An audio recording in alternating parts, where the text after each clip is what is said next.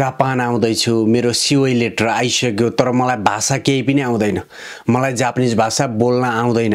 यदि म जापानमा आएँ भने मैले काम गर्न सक्छु कि सक्दिनँ? मैले काम गर्न पाउँछु कि पाउँदिनँ भनेर धेरैजनाले मलाई म्यासेज गर्नुभएको थियो। मैले सम्पूर्णको लागि यो भिडियोबाट जानकारी दिन चाहन्छु। पहिला त तपाईँ कुन ठाउँमा आउँदै हुनुहुन्छ त्यो एउटा महत्त्वपूर्ण कुरा हुन्छ। तपाईँको ठाउँ अनुसारको काम हुन्छ। ठाउँ अनुसारको वेजेस तपाईँको घन्टाको ज्याला कति छ त्यो अनुसारबाट फरक हुन्छ। विशेष गरेर काम धेरै पाइने ठाउँहरू जस्तो टोकियोको एरियामा हो भने तपाईँलाई भाषा नै नआए पनि काम पाइएन भनेर रोकिनु पर्दैन काम पाउनुहुन्छ। हो यदि भाषा आउँछ भने तपाईँलाई राम्रो कामहरू पाउन सक्नुहुन्छ तर भाषा नै छैन तपाईँको भाषा केही पनि आउँदैन भने पनि तपाईँले टोकियोमा आएर काम पाइन भन्ने चाहिँ नि हुँदैन। तर अरू ठाउँहरूको केसहरूमा तपाईँको दुईजना तिनजनाको डिमान्ड भएको ठाउँमा तपाईँलाई भाषा आउँदैन तर तपाईँको साथीलाई राम्रोसँग भाषा आउँछ भने तपाईँलाई नलिएर तपाईँको साथीलाई लिने सम्भावना बढी हुन्छ। हुँदाखेरि भाषा हुनु जरुरी छ तर भाषा नै छैन तर सिओई लेटर आइसकेको छ। अब जापान जाने हो। अब उहीँ गएर पढ्ने हो भन्ने सोच बनाएका व्यक्तिहरू हुनुहुन्छ भने तपाईँहरू अब पढ्नु भएको छैन भने यहाँ आएर राम्रोसँग मेहनत गरेर पढ्नु होला।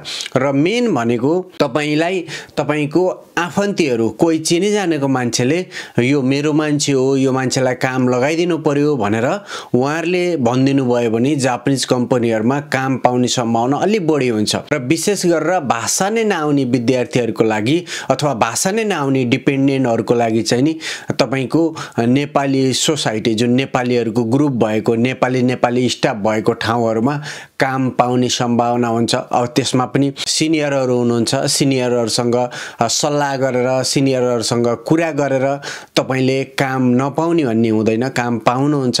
र तपाईँले पनि अलिकति मेहनत चाहिँ नि जापानमा आएर गर्नुपर्छ। मेहनत गर्नु भएन भने काम पाइँदो रहेछ के अरे भनेर हिँड्नुभयो भने पछि फ्युचरमा चाहिँ तपाईँलाई गाह्रो हुन्छ। म यही जानकारी गराउन चाहन्छु र जति पनि अब जानु पर्यो जापान जानु पर्यो अब जापानको प्रोसेस गर्नु पर्यो भन्नुहुन्छ भने सबैभन्दा पहिला तपाईँले भाषा पढ्न सुरु गर्नुहोस्।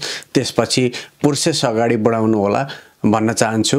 यदि त्यो गर्नुभयो भने जापानमा तपाईँले भाषा बनाएर आइसकेपछि कुनै पनि ठाउँमा समस्या हुँदैन। तपाईँ वर्किङमा आए पनि स्टुडेन्टमा आए पनि डिपेन्डेन्टमा आए पनि काम भनेको तपाईँले प्रायः जसो गर्ने भनेको जापानिज कम्पनीहरूमा नै हुन्छ। त्यो हुँदाखेरि भाषा भयो भने तपाईँकै लागि राम्रो हुन्छ। यही जानकारी गराउन चाहन्छु। हजुरको दिन शुभ रहोस्। नमस्कार।